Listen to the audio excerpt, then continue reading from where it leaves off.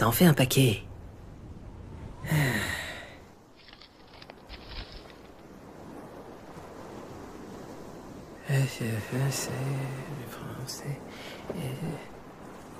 Qu'est-ce que... Bon, laisse tomber. Au suivant. Alors... Euh, euh, euh, ah, Quoi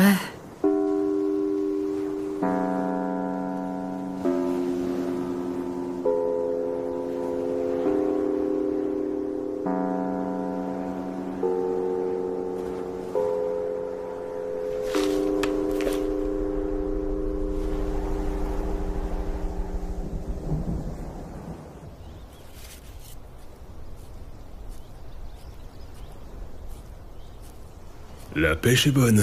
Je suis tombé sur des propos tout mignons venant d'un blog. Ça va te plaire. Tu veux que je te les lise? Ouais, pourquoi pas. Technicien, tu vas bien? Eh Non, pas trop. Toi, tu tombes sur des trucs super cool, euh, des infos pratiques, des trucs marrants, des réflexions poussées. Euh, pendant que moi, euh, j'ai ça. Oh, je peux voir? Ouais, si tu veux déprimer. Voyons voir. Ça a l'air de venir des réseaux sociaux. Joli. Je suis raciste car s'il existe des races chez les chiens, il y en a aussi chez les humains. Ah. Ok. Et qu'est-ce qu'on a là? C'est un commentaire à propos des migrants à Calais. Il dit Foutez-moi tout cela à la mer. Euh... Bon. D'accord, je vois. Et t'as pas tout lu? Ils sont quasiment tous comme ça dans ce paquet. Je suis désolé pour toi, technicien. L'océan nous ramène des petits bouts du web, comme les vagues laissent parfois leur écume. C'est aléatoire, on peut recevoir tout et n'importe quoi, le meilleur et parfois le pire. Parfois Tout un paquet J'ai que ça là-dedans. Racisme, sexisme, opinion politique super hard, euh, genre punition et peine de mort à tout va, à propos complètement perchés sur la supériorité de la nation française, où il faudrait obéir aveuglément à ses valeurs et détruire tout le reste. Euh, franchement, tes écumes du web, elles ont pas du tout l'air aléatoires. Ou alors c'est tout le web qui déconne. Hmm, curieux.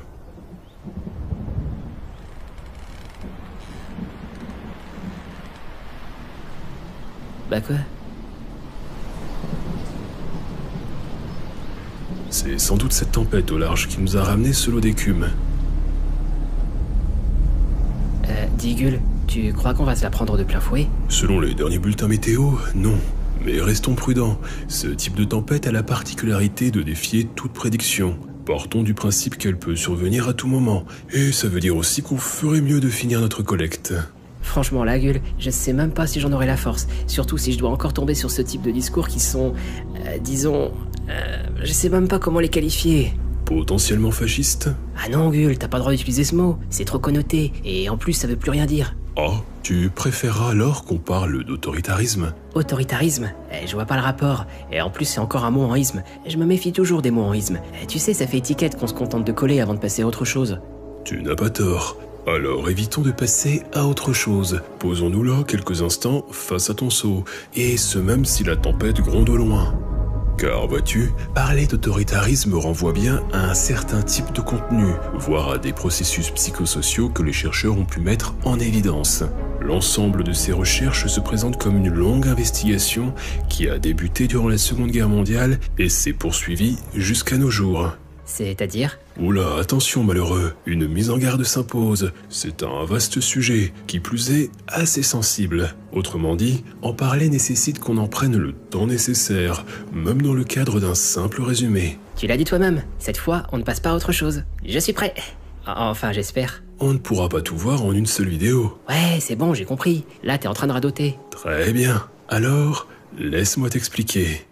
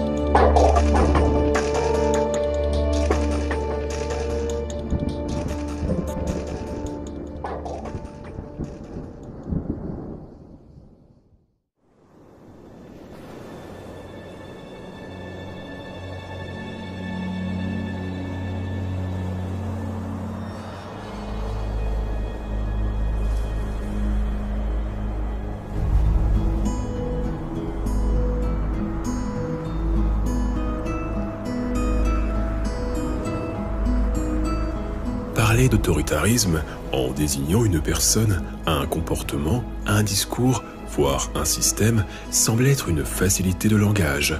Car si de prime abord chacun semble saisir le sens du terme, celui-ci se dérobe dès qu'on tente d'en préciser les contours. Au fond, que signifie être autoritaire? Est-ce que cela désigne un certain type de comportement Un ensemble de croyances, de représentations, d'attitudes? Peut-on parler raisonnablement de personnalité autoritaire? Cela désigne-t-il un profil psychologique particulier? Et si oui, quelles en seraient ses caractéristiques?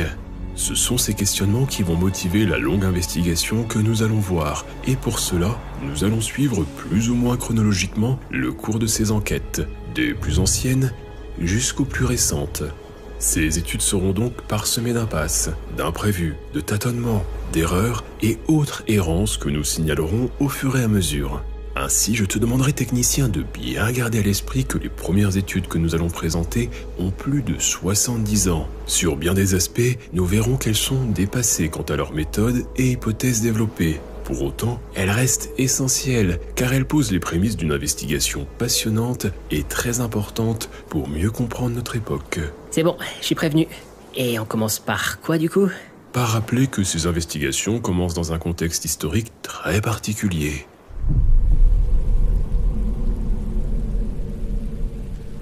La première moitié du XXe siècle voit apparaître de nouvelles idéologies, traînant avec elles son lot de discours irrationnels, tels que le mythe du surhomme arien, la hiérarchisation des races. Tout cela va contribuer à renforcer de nombreux préjugés, tels que l'antisémitisme, avec les conséquences historiques que nous connaissons. Discrimination, incarcération, déshumanisation, extermination. Comment en était-on arrivé là? Il est bien sûr possible d'appréhender cette période sous différents angles, historiques, politiques, sociologiques, économiques. Mais pour de nombreux chercheurs de l'époque, aucun de ces angles ne semble suffire à répondre aux interrogations les plus profondes. Comment expliquer de tels comportements destructeurs? Comment expliquer cette inclination à l'obéissance, à la soumission parfois la plus totale? Comment expliquer cette large adhésion à des discours qui justifient des inégalités entre des populations, qui vantent l'allégeance à l'autorité, qui prônent sans phare des mesures liberticides? Comment expliquer les dénis face à des injustices pourtant flagrantes? Au lendemain de la Seconde Guerre mondiale, ces questionnements se posaient là, comme une plaie une énigme oppressante et insupportable, obligeant chercheurs et intellectuels à s'y pencher pour tenter de comprendre l'indicible.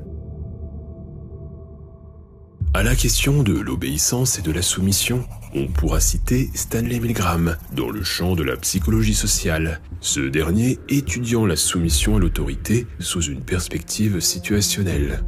Si les études de Milgram sont sans aucun doute les plus connues en la matière, elles sont loin de représenter le seul axe d'étude en psychologie. Par exemple, Melvin Lerner, chercheur en psychologie sociale, s'est penché non pas sur les auteurs actifs d'injustice, mais sur les observateurs passifs d'injustice. Lerner se demandant comment des individus pouvaient dénier les souffrances infligées aux victimes, déni pouvant aller jusqu'au blâme de ces dernières, comme si au fond, les victimes étaient un peu responsables de leur sort. Ces travaux verront l'émergence de la théorie de la croyance en un monde juste. Mais je digresse quelque peu. Je voulais juste insister sur le fait qu'il existe une multitude d'angles de recherche et que celui que nous allons voir ne saurait se substituer aux autres, ni en faire l'économie. Cet angle de recherche débute dans les années 40, alors même que la guerre bat son plein. Les chercheurs en psychologie, Els Frankel Brunswick, Daniel Levinson et Nevit Sanford, sous la direction du philosophe et sociologue Theodore Adorno, vont s'atteler à mener une vaste enquête visant à cerner ce qu'ils nommeront la personnalité autoritaire. C'est d'ailleurs sous ce titre qu'ils publieront en 1950 l'ensemble de leurs travaux, The Authoritarian Personality, ouvrage qui aurait pu s'appeler initialement The Fascist Character ou The Potential Fascist. Oh non, Gull, tu recommences.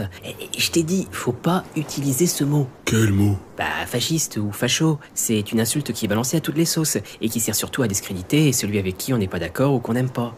Hmm, ce n'est pas faux. Le terme fascisme doit nous inviter à la prudence, tant on peut lui faire dire tout et son contraire. Pour sortir de cette confusion, on pourrait se contenter de restreindre le terme à son sens le plus strict, c'est-à-dire à sa référence historique. Pour autant, ce serait omettre un sens plus large, désignant non pas seulement une époque et un contexte particulier, mais une certaine configuration politique, sociale, idéologique, associée à des comportements et à des attitudes spécifiques. C'est en ce sens que le mot sera utilisé par nos chercheurs. Ok, je veux bien, mais ça répond pas à la question. Ça veut dire quoi fascisme? Si ça désigne une certaine configuration, comme tu dis, euh, concrètement, on parle de quoi? C'est justement là tout l'intérêt de l'enquête. Préciser cette configuration, du moins sous l'angle des attitudes, en préciser ses caractéristiques, et ainsi pouvoir définir cette personnalité autoritaire potentiellement fasciste. Précisons que nos enquêteurs ne se sont pas intéressés en premier lieu aux individus ouvertement autoritaires, mais ont plutôt tenté de cerner les graines de l'autoritarisme. Leur hypothèse de départ étant la suivante. Il y aurait une structure mentale autoritaire qualifiée de potentiellement fasciste, qui se serait modelée au fil du temps, selon certaines expériences et expositions à des environnements sociaux particuliers.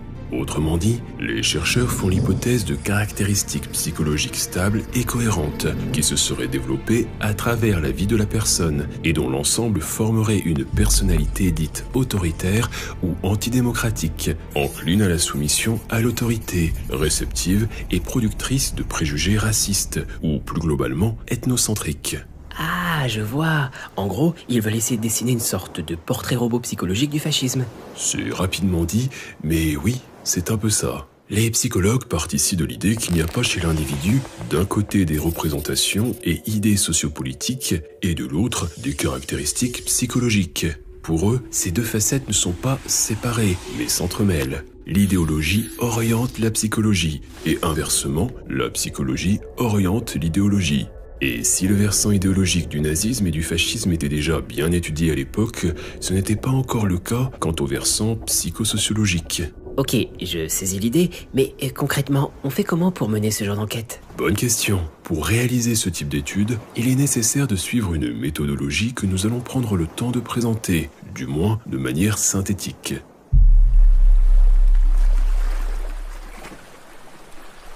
L'investigation va débuter par une première étape que nous nommerons enquête de surface. Si on la nomme de surface, c'est parce que nous demeurons sur le terrain de l'opinion, le but étant ici de délimiter les contours des idéologies autoritaires, en récoltant et en analysant les opinions des individus.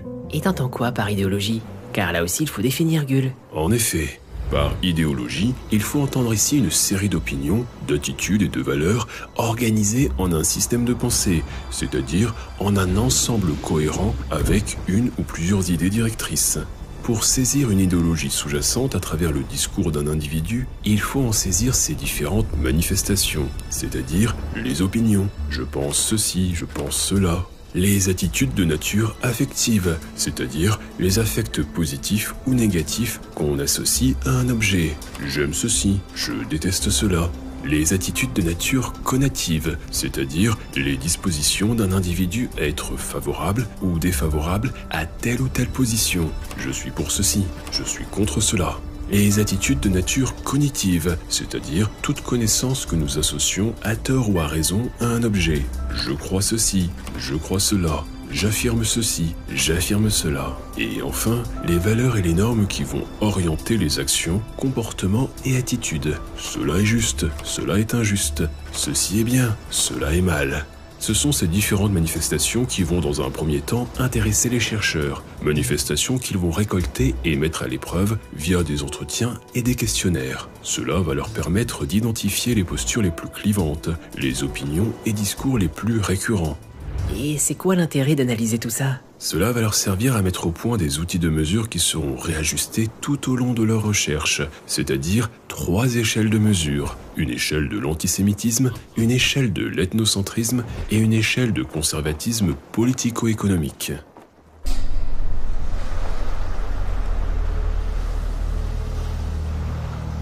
Les chercheurs vont d'abord étudier tout ce qui a trait à l'antisémitisme, car les préjugés portés à l'égard des juifs sont légion dans les États-Unis des années 40. Et comme tu le sais, ces préjugés ont été repris par des régimes autoritaires et totalitaires de l'époque, tels que dans l'Allemagne nazie ou dans la France de Vichy, et que l'on peut retrouver dans les différentes propagandes.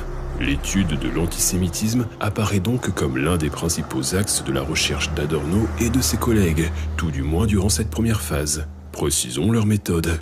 Les chercheurs commencent par étudier les documents disponibles afin de relever les préjugés les plus récurrents. Parallèlement, ils font passer de nombreux entretiens auprès de participants états-uniens. Ils identifient ainsi des opinions récurrentes, des attitudes, des affects, valeurs, ce qui leur permet d'élaborer une première échelle, assez dense, car contenant 52 items. Cette échelle est ensuite testée sur différents groupes, les participants devant indiquer pour chaque item leur degré d'accord ou de désaccord. Grâce à l'analyse des données et à de nouveaux entretiens, les chercheurs vont pouvoir améliorer leur échelle, testant différentes versions afin d'obtenir l'échelle la plus viable possible, c'est-à-dire une échelle mesurant précisément ce qu'elle est censée mesurer. Toutes ces études préliminaires leur permettront d'élaborer une version courte, plus facile à faire passer, car contenant cette fois 10 items. Ah bah ça m'a l'air laborieux. Ça a dû prendre un temps fou. Des années, oui, avec des centaines de participants. Chacune des trois échelles que nous allons voir durant cette première phase a été élaborée de la même manière. Et du coup, tout ça, ça va leur permettre de faire une grosse enquête d'opinion, c'est ça? Mm, Oui et non. Ce qui intéresse les chercheurs ne se réduit pas en de simples mesures quantitatives. Leur objectif est avant tout qualitatif. Ils veulent se rapprocher le plus précisément possible des contenus idéologiques visés. Ces échelles de mesure ne sont que des outils permettant d'atteindre ce but. Par exemple, ce qui va intéresser les chercheurs, ce ne sont pas tant les scores obtenus, mais l'importance des écarts entre la moyenne des hauts scores, c'est-à-dire ceux qui adhèrent fortement à l'item en question, et la moyenne des bas scores, c'est-à-dire ceux qui n'adhèrent pas du tout à l'item, et donc qui s'éloignent le plus d'une position antisémite. Plus l'écart est important, plus il y a clivage entre une posture antisémite et une posture non antisémite. Par conséquent, l'item peut être considéré comme pertinent car efficace à distinguer nettement deux positions. L'autre intérêt des échelles consiste à pouvoir identifier des participants avec lesquels ils pourront s'entretenir pour mieux comprendre leur position, savoir pourquoi ils adhèrent ou non à tel ou tel item. Et ces items, ils ressemblent à quoi? Ils sont assez proches de ce que tu as pu trouver dans ton seau. Je préfère te prévenir, technicien, ce qui va suivre est assez difficile à lire ou à entendre. Je te rappelle aussi que nous sommes dans les États-Unis des années 40. Les items sont classés en cinq catégories, délimitant chacune des stéréotypes et préjugés antisémites. Une catégorie offensif, c'est-à-dire des propositions où les juifs sont présentés comme offensants dans leur comportement et attitude. Par exemple, dans l'item numéro 16, on peut lire Les juifs devraient se soucier plus de leur apparence, ne pas être si sales, si malodorants et si négligés. une catégorie menaçant, c'est-à-dire des propositions présentant les juifs comme une menace pour soi-même ou pour la nation, comme l'item numéro 14. Il semble y avoir une certaine propension révolutionnaire chez les juifs comme le démontre le fait qu'il y a tant d'agitateurs et de communistes parmi eux. Une catégorie intrusif, c'est-à-dire des propositions où les juifs sont perçus comme participant trop à la vie collective, se mêlant des affaires des autres. Une catégorie exclusif. Au contraire de la précédente, ce type de proposition présente les personnes juives comme ne s'intégrant pas assez. Aujourd'hui, on emploierait le terme de communautarisme. Et enfin, une catégorie attitude, c'est-à-dire les propositions avançant des actions qui devraient être entreprises, par exemple la ségrégation, la restriction de droits, etc. En gros, ce sont les catégories des pires horreurs possibles et inimaginables qu'on pourrait entendre. Effectivement, les items sont censés dépeindre l'ensemble des préjugés antisémites. Il est donc normal qu'on soit choqué par ce type de proposition. Précisons que les chercheurs ont particulièrement été attentifs aux formulations de ces items, s'assurant de les présenter sous une forme pseudo-démocratique. Pseudo-démocratique. Le pseudo-démocratisme est un terme que les chercheurs utilisent pour désigner un discours au contenu autoritaire, antidémocratique donc, à fort préjugé, mais dont la forme est en quelque sorte adoucie afin de lui donner l'apparence de propos plus acceptables. En effet, suite à leurs premières investigations et entretiens, ils ont remarqué que la plupart des individus à fort préjugés antisémites étaient peu enclins à assumer leur position de manière décomplexée. Consciemment ou non, ils préféraient manifester leur opinion sous des tournures de phrases plus nuancées, moins affirmatives, en utilisant par exemple des conditionnels, ou encore en utilisant certaines conjonctions telles que le mais Ce type de formulation vient comme masquer l'hostilité qu'ils ont vis-à-vis d'un groupe. Masque qu'ils ne présentent pas seulement aux autres, mais aussi à eux-mêmes, car ces stratégies ne sont pas toujours conscientes et volontaires. Prenons pour l'exemple l'item numéro 21. Les leaders juifs devraient encourager les juifs à être plus discrets, à se tenir hors des activités et professions surpeuplées par les juifs, et éviter de s'afficher publiquement. Ici, nous avons un conditionnel, comme s'il s'agissait d'un simple conseil à destination des leaders des groupes concernés. La forme semble modérée par l'usage de ce conditionnel, mais le fond ne l'est en aucun cas, car il s'agit bien là d'une position radicale qui en appelle à la réduction de droits pour une population ciblée, et ce, de manière arbitraire, au seul motif de son ethnie. Voici donc à quoi ressemble l'une des premières versions de cette échelle, testée en 1944 sur un échantillon composé exclusivement de jeunes femmes. Et pourquoi que des femmes? Les chercheurs pensaient que l'antisémitisme ne concernait que les femmes Pas du tout. Ce choix d'échantillon n'en est pas vraiment un. Il s'agit plutôt d'une contrainte, car nous sommes en 1944, toujours en guerre, et la plupart des hommes sont indisponibles. Bien sûr, ces échelles seront par la suite testées sur toute une palette de profils, selon les différentes catégories socioprofessionnelles, les âges, etc. Nous n'allons pas analyser les résultats en détail, nous nous contenterons de résumer quelques éléments que les chercheurs ont pu mettre en évidence. Si vous voulez accéder à l'ensemble de leurs données et de leurs méthodes, ainsi qu'à une analyse plus fournie, je vous invite à vous référer au dossier de V6. Vous le trouverez en libre accès via les liens dans nos sources.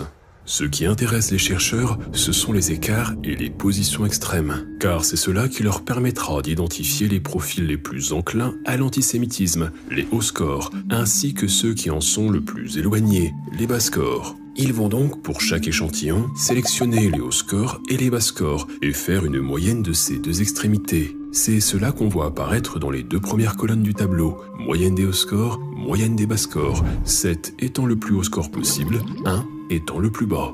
Et c'est quoi l'intérêt de faire ces moyennes de haut score et bas score? Cela va leur permettre de calculer le DP, Discriminative Power en anglais, qui désigne la force discriminante de l'item. Ce DP montre l'écart entre la moyenne des hauts scores et des bas scores. Plus cet écart est important, par exemple au-dessus de 3, plus cela signifie que l'item est clivant, qu'il divise les personnes interrogées et qu'il permet donc de discriminer nettement deux positions qui ne peuvent se confondre. A l'inverse, un DP faible, entre 0 et 1,5, montre qu'il n'y a pas vraiment de division entre les hauts scores et bas scores, que l'item n'est donc pas clivant. Or, c'est justement les positions clivantes qui intéressent ici les chercheurs, car si la force discriminante de l'échelle est faible, elle ne sera pas considérée comme efficiente.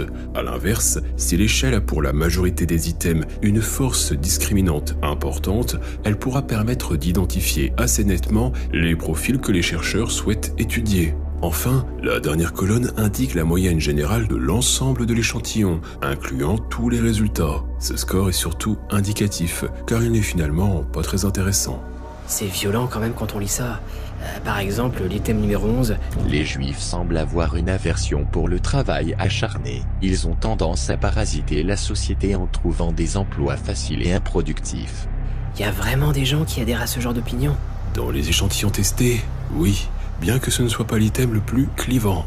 Et ça mène vers quoi tout ça? Je veux dire, tu dis que ces études sont avant tout qualitatives, euh, qu'il s'agit pas simplement de produire des scores. Alors qu'est-ce qu'ils en font de toutes ces données? Cela va leur permettre, entre autres, de tester des corrélations, d'identifier des invariants, plus encore, de mettre le doigt sur de précieuses contradictions. Un discours contradictoire est un discours irrationnel. De fait, on serait tenté de ne pas en tenir compte, de considérer que de tels propos ne sont pas dignes d'être étudiés, que ce serait une perte de temps, car l'argumentaire ne peut être valide. Or, dans la présente démarche, les contradictions sont au contraire précieuses, car elles viennent comme flécher des pistes à explorer. Et si ces contradictions sont redondantes et répétées, cela peut suggérer qu'il y a derrière des mécanismes plus profonds. L'échelle de l'antisémitisme va justement permettre de faire ressortir des contradictions étonnantes. Les chercheurs vont en effet effectuer différents tests afin de relever la force des corrélations entre les différentes catégories offensif, menaçant, exclusif, inclusif, attitude. On pourrait s'attendre à ce que des catégories obtiennent des corrélations nulles ou négatives, notamment les catégories exclusif et inclusif. Comment pourrions-nous soutenir à la fois que telle population s'intègre trop, s'occupe trop des affaires des autres, tout en affirmant que cette même population vit de manière trop isolée, sans véritable interaction avec le reste de la population? Bah ouais, ce serait con quand même de soutenir les deux en même temps. Et pourtant, dans l'échelle de l'antisémitisme, il y a une corrélation positive forte entre ces deux catégories. Comprend par là que la majorité des hauts scores soutiennent en même temps ces opinions peu compatibles. Attends, attends, attends. Donc, si je comprends bien, ça veut dire que les gens pensent à la fois que les juifs sont totalement intégrés, qu'ils sont partout, qu'ils se mêlent de tout, et que ça leur pose problème, et en même temps, ils pensent qu'ils ne sont pas du tout intégrés, qu'ils restent entre eux en ne se mêlant à personne, et que ça leur pose problème. Oui, Mais c'est absurde. C'est surtout particulièrement intéressant, car ce type de contradiction est la manifestation d'une hostilité profonde à l'égard du groupe ciblé. C'est cette hostilité, cette peur, qui va orienter les discours des hauts scores et l'adhésion à telle ou telle opinion. Discours qui ne s'appuient sur aucune véritable expérience et qui ne nécessitent pas de reposer sur une argumentation logique. Les hauts mettent en place un processus de dévalorisation, fait de préjugés et de stéréotypes, qui l'emporte sur la cohérence du discours, ce qui explique la manifestation d'opinions contradictoires. Ces préjugés sont hautement problématiques, non seulement à cause des conséquences immédiates que l'on peut imaginer, c'est-à-dire une discrimination effective, mais aussi parce que ces préjugés empêchent les hauts scores d'imaginer une cohabitation pacifique et apaisée. Cela renforce cette idée que les différents modes de vie, de pensée, de culture ne peuvent être inclusifs, qu'un seul mode devrait dominer tous les autres, le leur. Par conséquent, ces stéréotypes et préjugés rendent les hauts scores perméables à l'influence de politiques autoritaristes, qui leur sembleront tout à la fois répondre à leur peur et à leur hostilité vis-à-vis d'un groupe, tout en renforçant davantage leurs préjugés qu'ils verront en quelque sorte comme confirmés par une autorité à laquelle ils accepteront de se soumettre. Mais sur la question des préjugés, les chercheurs veulent aller plus loin.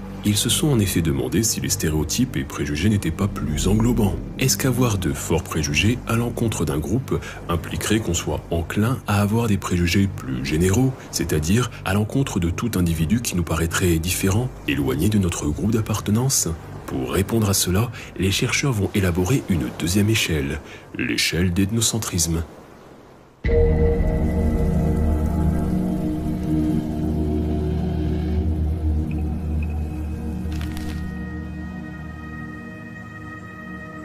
On en avait déjà parlé de l'ethnocentrisme. C'est quand on privilégie son propre groupe au détriment des autres. C'est ça C'est l'une des définitions possibles, oui, et c'est bien en ce sens que le terme est ici employé. En sciences humaines et sociales, l'ethnocentrisme est défini comme notre tendance à valoriser notre groupe d'appartenance, les endogroupes, par rapport aux groupes extérieurs, les exogroupes. Cette tendance pouvant aller jusqu'à la dévalorisation de tout exogroupe. On en donne des exemples avec les recherches portant sur un biais ethnocentrique, l'erreur ultime d'attribution, que vous pouvez retrouver dans cette vidéo. Pourquoi les Américains nous paraissent-ils idiots? C'est ça. Les chercheurs remarquent ici en effet un ethnocentrisme rigide, c'est-à-dire obéissant toujours à un même schéma. La personne distribuera systématiquement des attributs positifs à tout ce qu'elle associe ou qui se rapproche de son groupe d'appartenance. Elle ne remettra jamais en cause son propre groupe, ni ne le critiquera. À l'inverse, elle aura tendance à attribuer des opinions négatives à des groupes qui lui paraîtront éloignés. Il y a une hiérarchisation des populations et une mise en concurrence des groupes, l'endogroupe étant perçu comme supérieur aux autres. Pour élaborer cette échelle, les chercheurs vont s'organiser de la même manière que pour l'échelle de l'antisémitisme. Ils vont réaliser une grande quantité d'entretiens, analyser les ressources à leur disposition, produire une première version, la tester, débriefer les participants, affiner les items, reconstruire l'échelle jusqu'à obtenir une version définitive. L'échelle ethnocentrique est composée de trois catégories. Une catégorie portant sur les populations afro-américaines, une catégorie portant sur les minorités, c'est-à-dire portant par exemple sur les populations japonaises, philippines, sur les outsiders ou encore sur les femmes. Euh, Les femmes sont une minorité? Il ne faut pas l'entendre sous un angle numérique, mais selon le traitement et la place qu'elles ont dans la société. En ce sens, elles sont effectivement perçues comme une minorité, d'autant que, je le rappelle, nous sommes dans l'Amérique des années 40. Enfin, la troisième catégorie est celle du patriotisme, c'est-à-dire les propositions où la nation est vantée de façon rigide et allégeante. Attention, les chercheurs ne considèrent pas que tout patriotisme est associé à un ethnocentrisme. Cette catégorie désigne ici un patriotisme que l'on pourrait qualifier de fermé, prétexte à dévaloriser tout ce qui est extérieur, étranger. C'est en ce sens qu'il faut l'entendre. Voici un tableau récapitulatif des résultats obtenus dans une version de 1944. Là encore, nous n'allons pas nous y attarder, vous retrouverez les données complètes dans nos sources. Parmi les items qui se distinguent, on peut citer par exemple l'item numéro 14. Les Noirs peuvent avoir un rôle à jouer dans notre civilisation blanche, mais il est préférable qu'ils restent dans leur propre quartier et école pour éviter trop de mélange, de mixité avec les Blancs. On remarque que cet item est encore une fois formulé de manière pseudo-démocratique. Le début de phrase semble traduire une posture plus ou moins ouverte, puis arrive le fameux mais. Bah, ce type de propos à base de mais, on peut encore le retrouver dans la France d'aujourd'hui. Mon sceau peut en témoigner. Attends.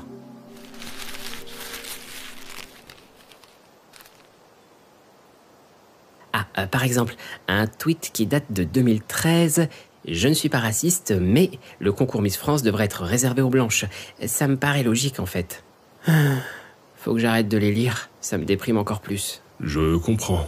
Avec ce type d'item, comme le numéro 14, la moyenne des hauts scores y est assez forte, tout autant que l'écart avec la moyenne des bas scores. On a donc bien là une position clivante.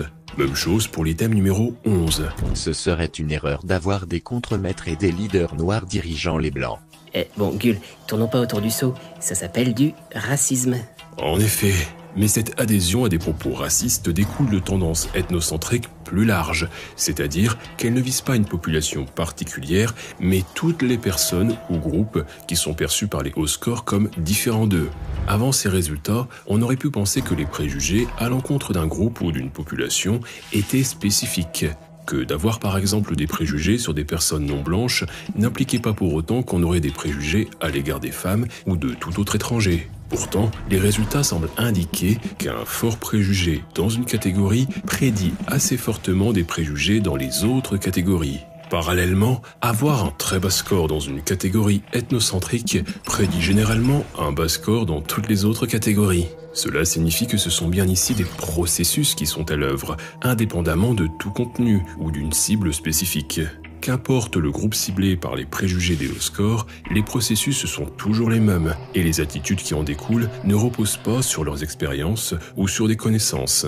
C'est ce qui nous permet aussi de comprendre pourquoi les hauts scores sont souvent imperméables aux contre-arguments, car ils sont enfermés dans ces processus ethnocentriques. Ce sont à ces processus que leurs opinions et discours obéissent, d'où les contradictions parfois flagrantes qu'on a déjà pu évoquer avec l'échelle de l'antisémitisme. Par ce besoin de se valoriser en valorisant leur groupe d'appartenance, la dévalorisation systématique des autres groupes l'emportera sur la cohérence ou l'expérience. Du coup, pour les très hauts scores, je serais quand même curieux de savoir quelle est leur vision de l'humanité. Eux contre tous les autres? Ça peut se présenter ainsi, oui. Nous verrons plus tard avec l'échelle F qu'il y a des représentations communes chez les hauts. Représentation d'un monde décrit comme dangereux, menaçant, où règne la loi de la jungle. Représentation de l'être humain comme ayant une nature mauvaise. Certaines idées comme l'égalité des droits entre tous les individus, quels qu'ils soient, n'est même plus envisageable. Ces processus ethnocentriques aboutissent à voir le monde et les êtres qui le composent comme coupés en deux. Nous contre tous les autres, les forts d'un côté, les faibles et les fragiles de l'autre, ceux qui sont méritants, ceux qu'on doit blâmer. Bref, la pensée devient comme binaire, c'est soit tout blanc, soit tout noir. En découle une prévalence à hiérarchiser les individus selon les groupes auxquels on les identifie. Par conséquent, un haut score n'hésitera pas à adhérer à l'idée que tel groupe, son groupe, devrait avoir plus de droits, plus de biens, car il est supérieur, il est le plus légitime, le plus méritant, contrairement aux autres groupes qu'il considère comme différents ou étrangers, qui seraient selon lui moins légitimes, inférieurs, non méritants et devant rester à la place qu'on leur donne. Cela découle notamment d'un besoin d'estime et de la nécessité pour eux de soutenir des dominations ou des oppressions qui semblent leur apporter des avantages en termes de ressources ou de facilité dans leur quotidien. Dans les cas les plus extrêmes, et c'est ce qu'on observe en ce milieu du XXe siècle, les logiques ethnocentriques seront justifiées par des arguments pseudo-scientifiques ou pseudo-historiques, avec l'affirmation par exemple que tel groupe serait supérieur aux autres car naturellement plus intelligent ou plus apte, qu'il y aurait naturellement des forts et des faibles, et que la société devrait s'organiser sur ce modèle pseudo-naturel en valorisant les plus forts et en excluant les plus faibles. Des discours comme ça, ça existe encore, Gull. Monceau peut en témoigner. Oui, et c'est là l'un des objectifs de ces recherches, saisir ce qu'il y a de commun dans les discours ethnocentriques, indépendamment de leur contenu et de leur époque. Les groupes ciblés changent, mais les processus restent identiques. Et pour rappel, à ce stade de notre investigation, nous ne sommes encore qu'aux prémices, nous n'avons pas encore entamé notre plongée dans les abîmes de l'autoritarisme. Quoi qu'il en soit, on peut déjà dire que l'ethnocentrisme sera l'une des caractéristiques principales des profils autoritaires. Mais n'allons pas trop vite, il nous reste une dernière échelle à présenter, l'échelle de conservatisme.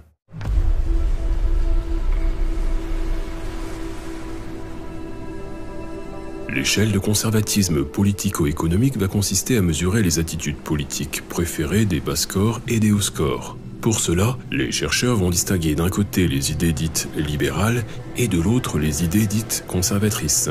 Genre les idées libérales s'opposent aux idées conservatrices Non parce que moi je peux te citer des politiciens qui se définissent comme des conservateurs libéraux.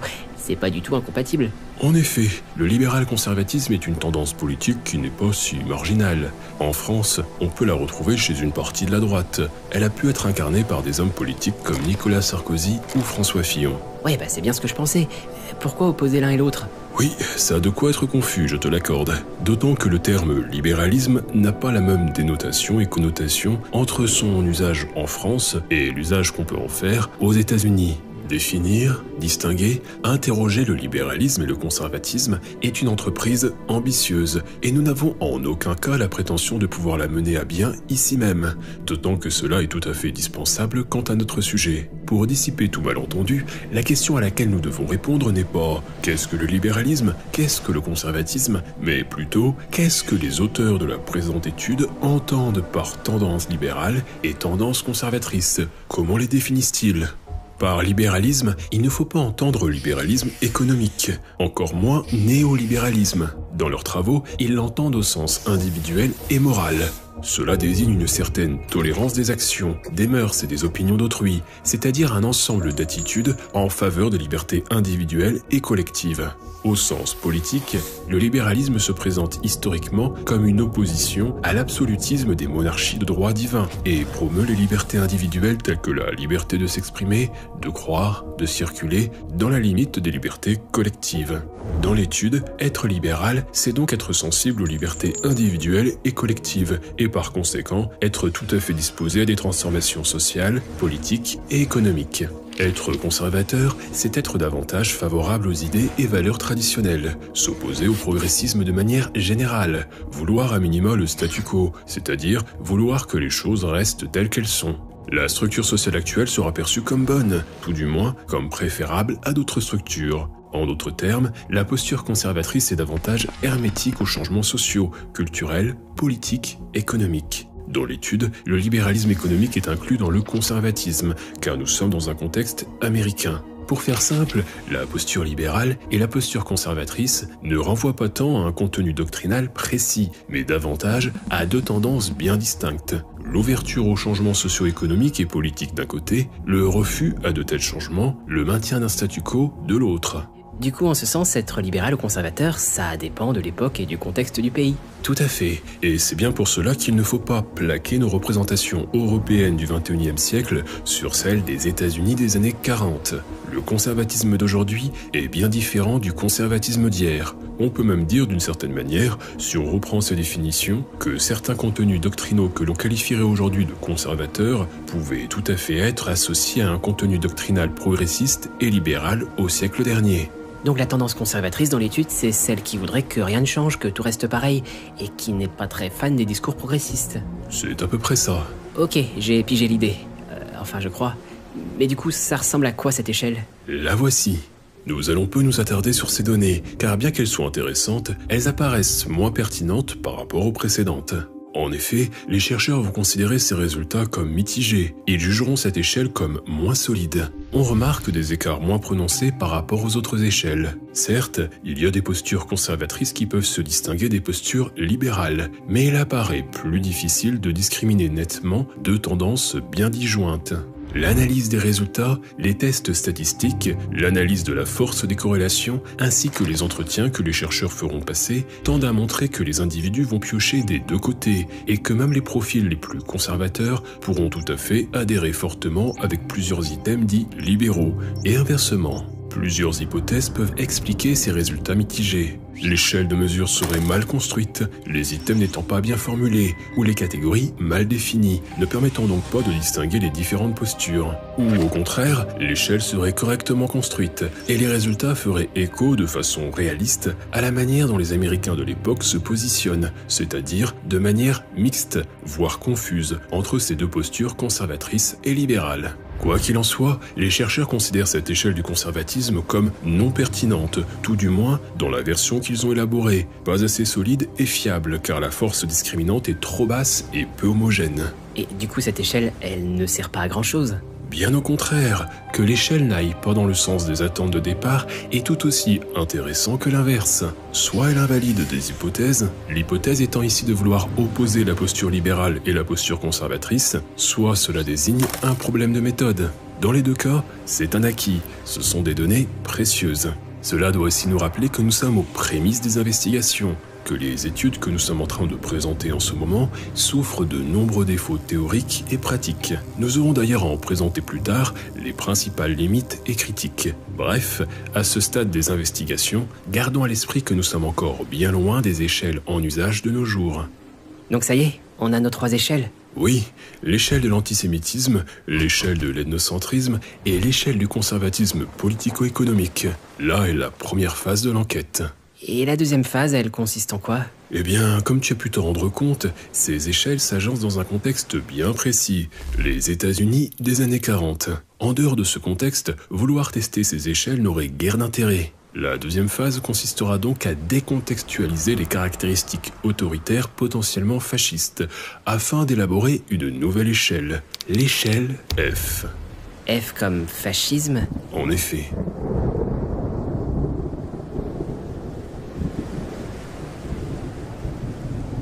J'ai l'impression qu'elle se rapproche, non?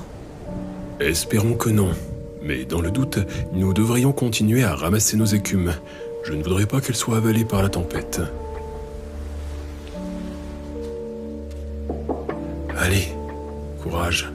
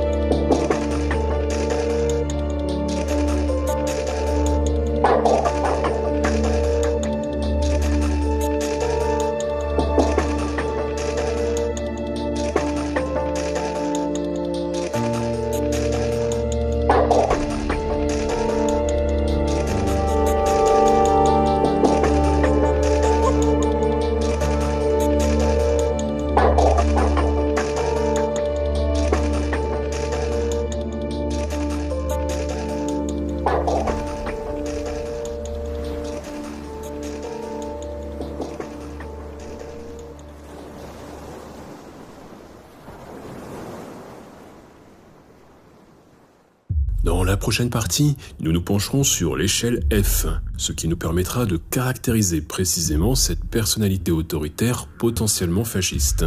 Nous nous attarderons sur les hauts scores et les bas scores. Nous verrons que l'échelle F sera utilisée et mise à l'épreuve pendant plusieurs décennies, ce qui représente une grande quantité de données collectées, et ce, en dehors des États-Unis. Par exemple, cette échelle sera testée sur des anciens SS et des membres de la Wehrmacht. Enfin, nous nous attarderons sur les critiques et limites de ces études, les problèmes théoriques, méthodologiques, et il y aura beaucoup à dire. Autant de problèmes qui aboutiront à renoncer à cette première approche et qui orienteront les recherches ultérieures jusqu'à l'élaboration d'échelles de mesure plus abouties et encore en usage de nos jours, telles que l'échelle RWA. D'ici là, portez-vous bien.